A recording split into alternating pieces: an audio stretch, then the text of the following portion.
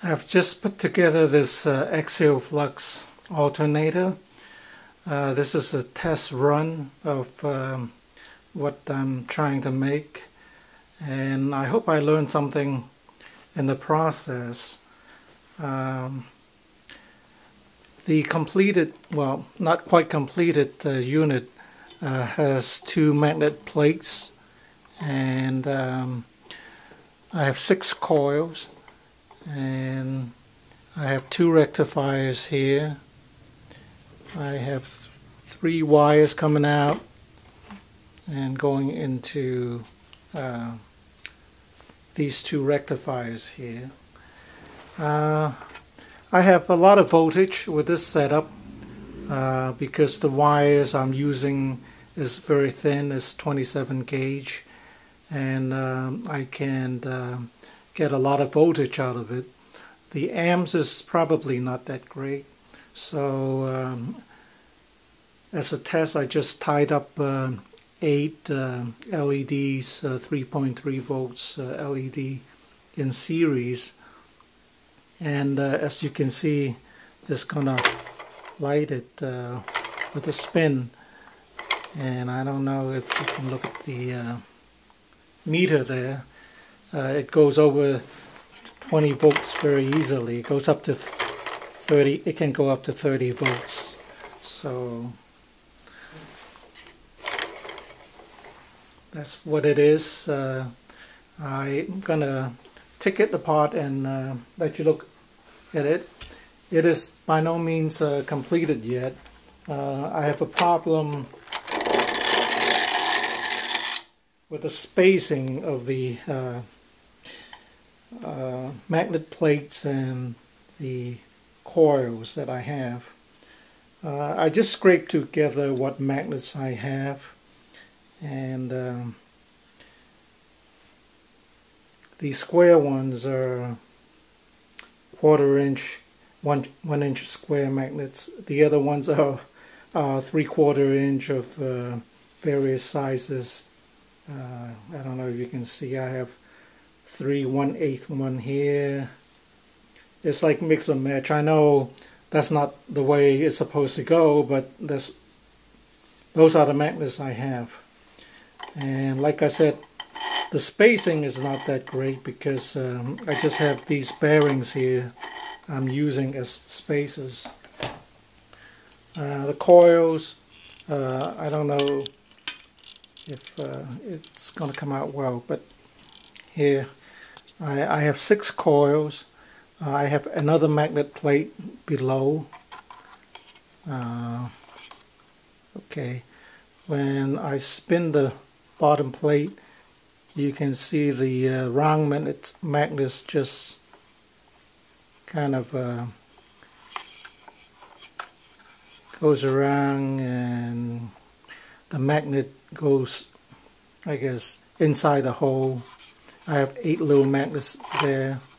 The spacing again is not uh, is not correct. There's there's a ton of space between the magnet and the coils. So I have to uh, either get the uh, correct spaces or I'm gonna add more magnets. I guess that's the easier way to do it.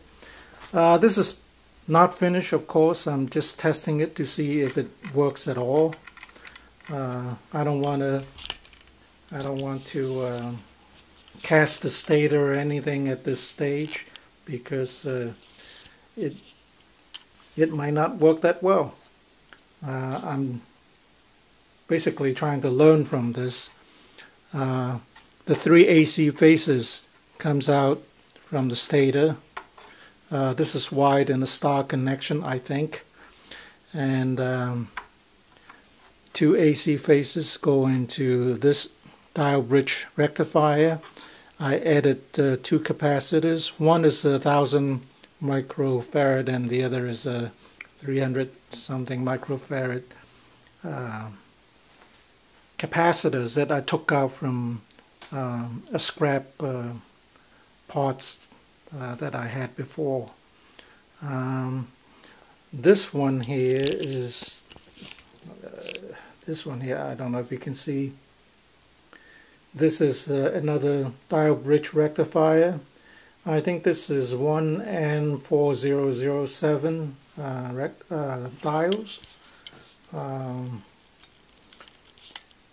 I think uh, I won't be overpowering or uh, burning these out anytime soon with the small output that I have.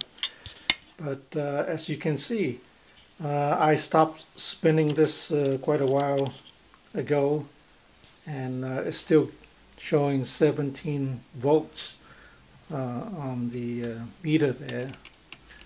Um, so what I have to do is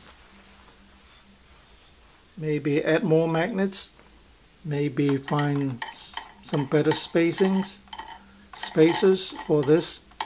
Uh, I have problems with the bearings. Uh, they don't spin all that well, but uh, I haven't found any suitable bearings for this. I haven't actually glued anything down. This is just, I stuck it on there. And so this goes over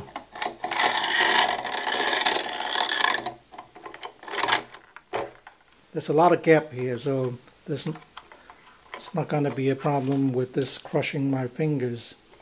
Uh, so with this as I, as I was showing you before it uh, gives giving me a lot of uh, voltage. And when all eight of them are in series it will be like 23 20 24 volts or more. Uh, the amps are like I said a little lacking but then I'm not building a, a powerhouse here. I'm just trying to make something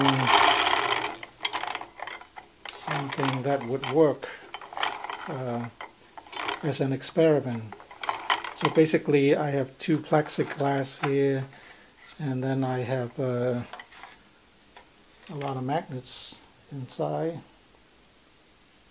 and a couple of 5-8 nuts to hold the thing in place uh, so I can do the test and six coils three phase and um, I hope I can um, maybe narrow the gap this is uh, very similar in output to my um, ceiling fan motor from Muddy. Um, the only difference is this spins very freely, even with the with without any uh, real good bearings uh, for this uh, alternator.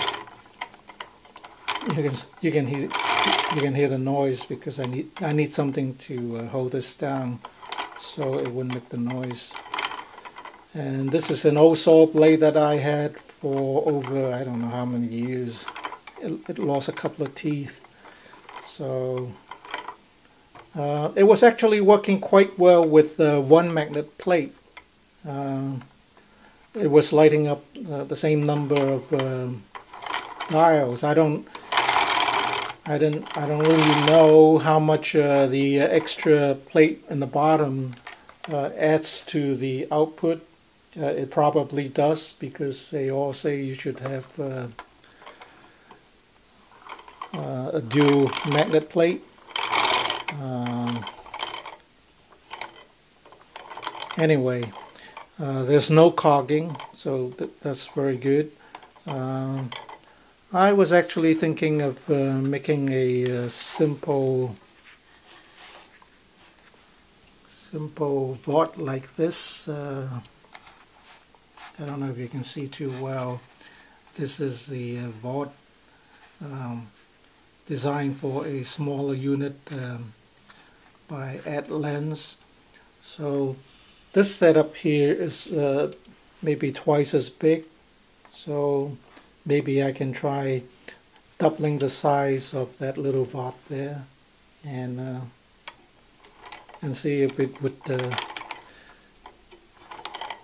produce any kind of uh, electricity at all. Okay. You can see it went up to over 20, over 25 volts. So this uh, voltage doubler circuit uh, really works.